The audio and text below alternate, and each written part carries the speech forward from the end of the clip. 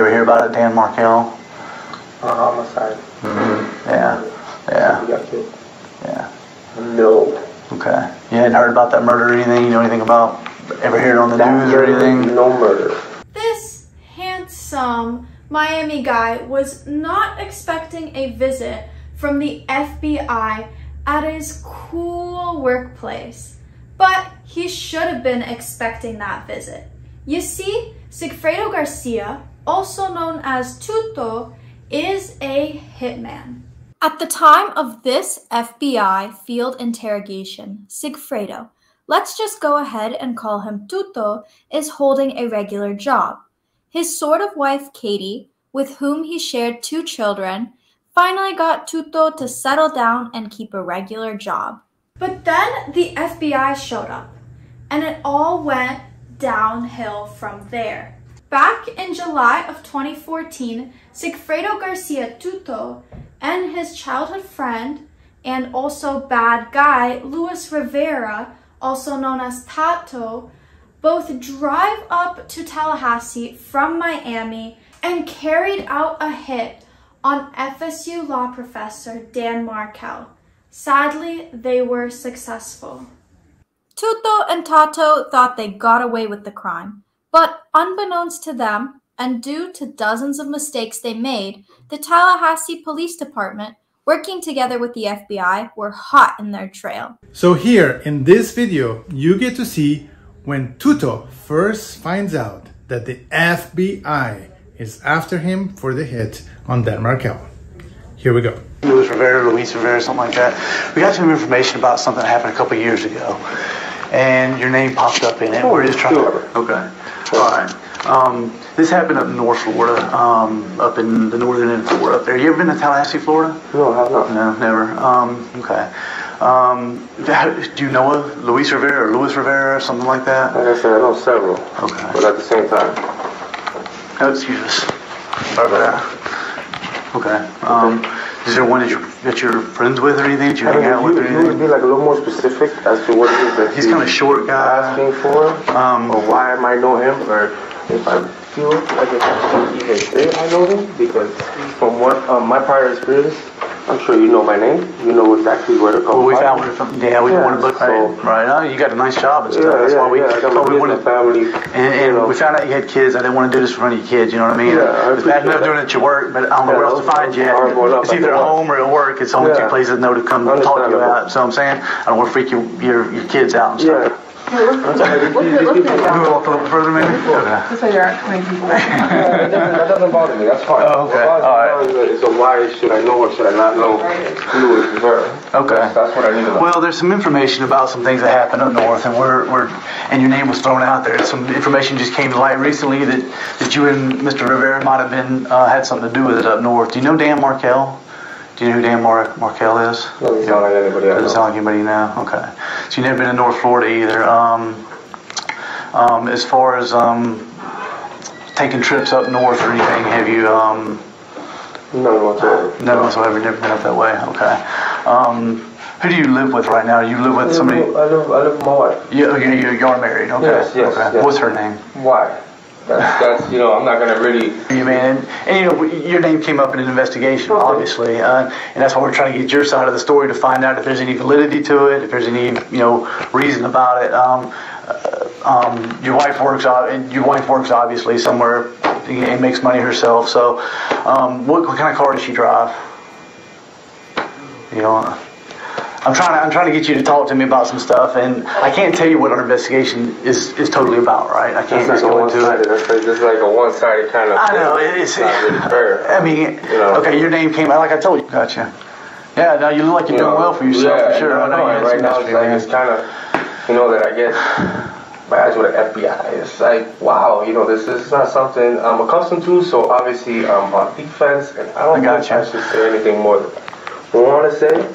Okay. But I mean, I you know, you. if if I can help, obviously, I'd be more than happy to. Okay. You know, I definitely don't want people coming over here to my job. I know. Because obviously right now that's stirred up. Because when I got this job, I'm not the greatest person to have a job in financing. Sure. So right now, what you practically did was just like take You go back in and tell her you're a witness in a case. You go back and tell her you're gonna go in that and stuff. that because then they're gonna think, oh, are, they- are they in litigation? Are they going to court? Is are they getting audited? Is it something that I'm doing against my company now? So it's I- like pretty much you just like part of my French all over the little bit of character. Well, we're, we're trying not to. That's why we try to just whisper to you and then Yeah, you no, come understandable. I out. appreciate at least the the Yeah, um, we tempted to it. The other way, if that or your kids, we thought this would be the yeah, better. the discreetness, but you know, Yeah. a phone call maybe, or I don't know. You, Oh, we didn't know your number either. What, what's your phone number?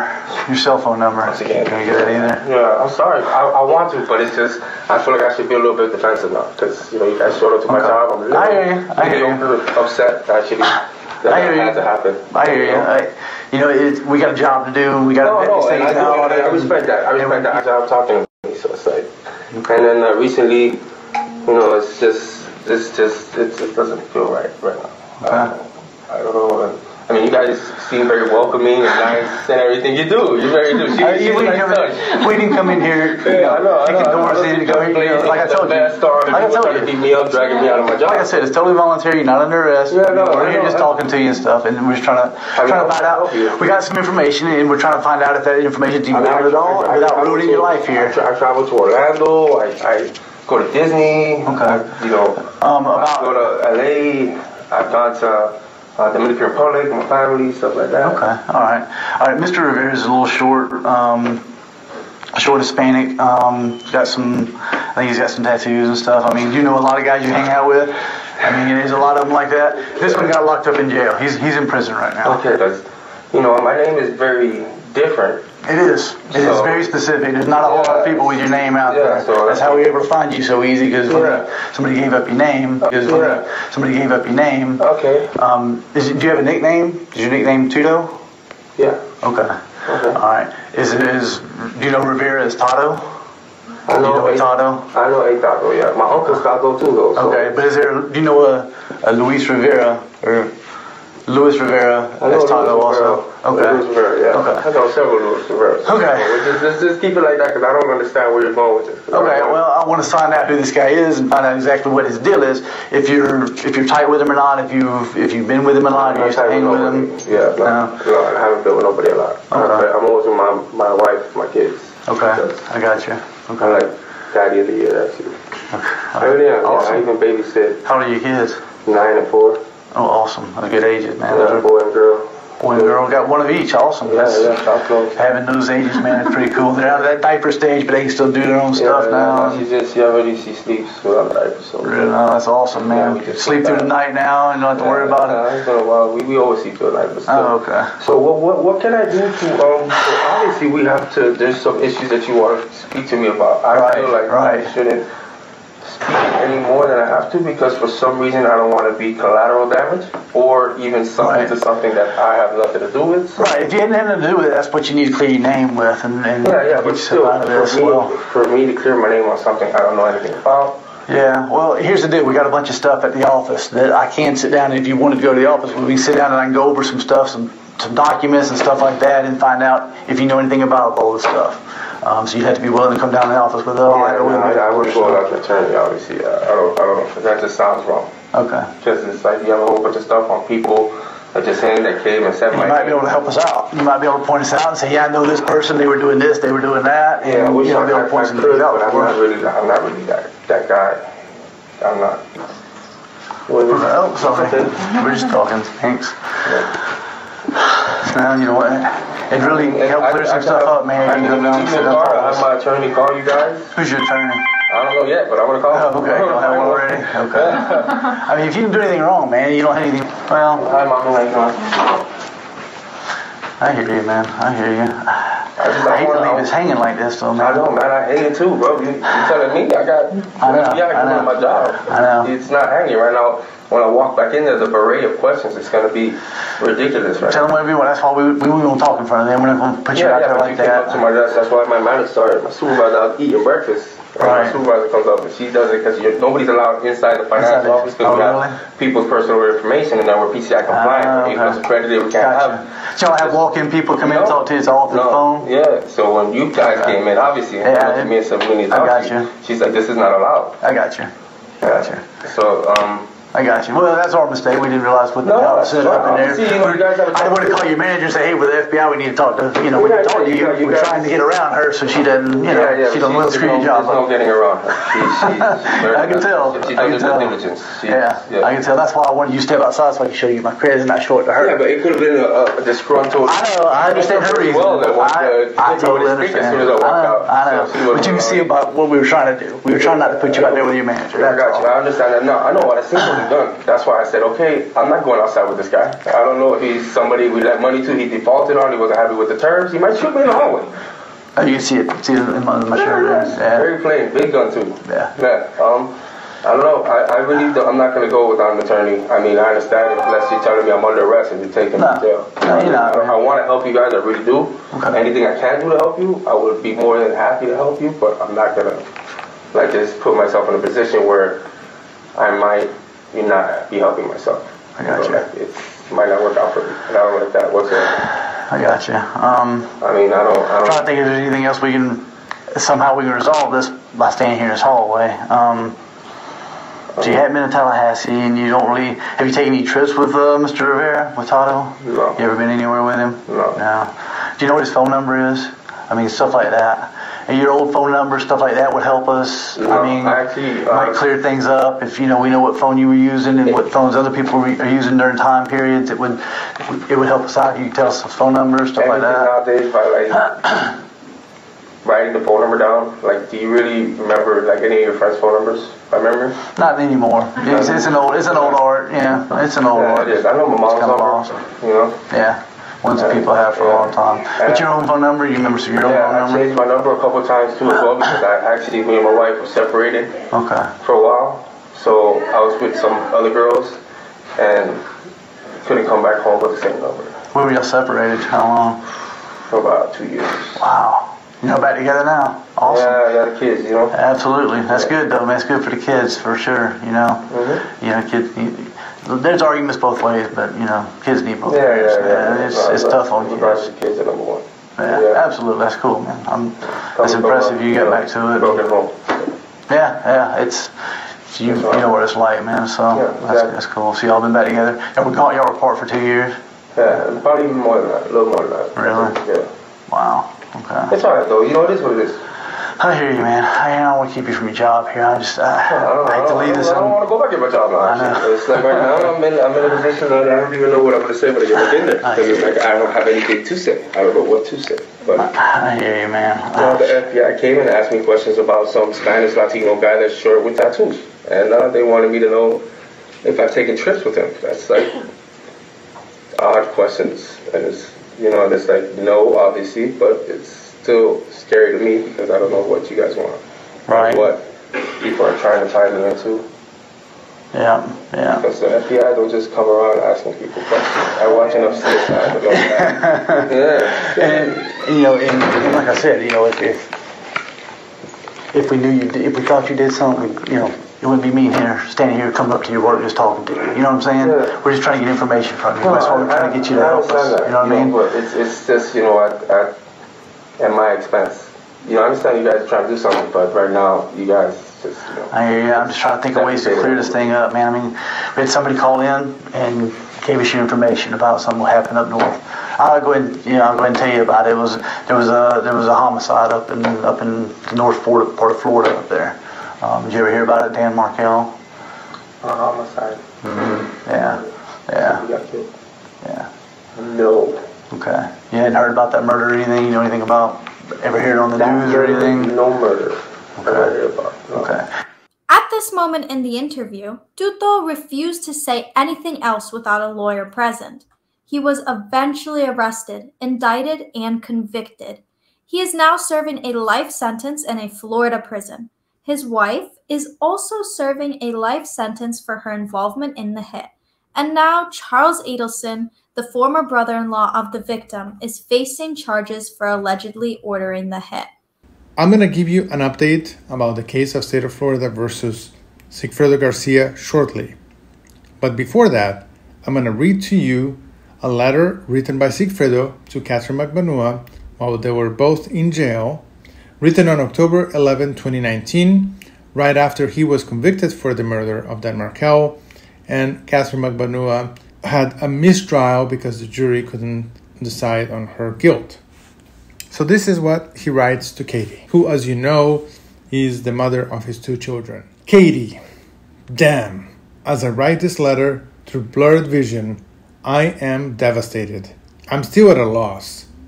But what's important is that although your outcome wasn't a win exactly, it definitely was not a loss. You have a couple good things to look forward to in your pursuit of justice. For starters, I will not be sitting next to you with all my bad juju. Next, your attorneys will be better equipped to defend you now that they have seen all the sucker punches and manipulations the other side got away with. It is not over, Chuchi. There's light at the other end of this dark tunnel. You just have to keep your head up and keep moving forward. You're a trooper, Bay. You're my little sunshine. I know there have been more than a little bit of times when I wasn't the best man I could have been for you. Know that I love you unconditionally. You're the best thing that ever happened to me, hands down. Ever since the first time I saw you at Cheyenne's house, wearing your yellow Philippine shirt with that sun and trees on it. I knew you were special, and that holds true to this day. Your warmth and your kindness motivated me to be a better person. And I'll always be forever grateful to you for not only that, but for giving me your love and my children. We both have a difficult road ahead of us. Just know that you'll always have me. Just because they knocked me down, don't count me out. I plan on fighting this with every breath I have. I'm going to start with my direct appeal and continue exhausting every appeal in the books until they get so tired of seeing me, they'll give up and free me. Don't give up on me. I need you more than ever. Even if it's just some written or spoken words of encouragement, they'll always mean the world to me. You know, you've always been tougher than me. Well, I have my sentencing on Monday, and by the time you get this letter, we'll know where I stand. But no matter where I stand, remember how I stand, with my chest out and my head high, and I expect nothing less from you. Please stay in touch. I love you, Chuchi. Unrevocably. Yours always, Mr. Penguin Every Stuff. No returns allowed. Ha ha. P.S. Also, Sam does not handle appeals. Maybe you can contact Chrissy and see if she can handle mine for pro bono or charity since I'm broke. Reach out to her and see what she says. I appreciate it. So, of course, Sigfredo Garcia lost his direct appeal. He recently filed a motion for post conviction relief, claiming that his counsel was ineffective in representing him. And the state of Florida, on September 11, 2023, filed its response. The response simply says that the state denies the defendant's claims and requests that the matter be set for an evidentiary hearing where it will be the defendant's burden to prove the claims alleged. Therefore, an evidentiary hearing will be held, which will be covered on this channel, at which Sigfredo Garcia will be there, with or without an attorney representing him. He's going to have to call his defense attorney, Saam Zangeneh, and his co counsel as witnesses and will try to prove to the court why they were ineffective in the representation of Mr. Sigfredo Garcia. And of course, the defense attorneys would then be able to explain why they made the decisions that they made. Those are very difficult claims to win. So good luck to Sigfredo. Well, not really. Thanks for watching Mentor Lawyer and Ladybug.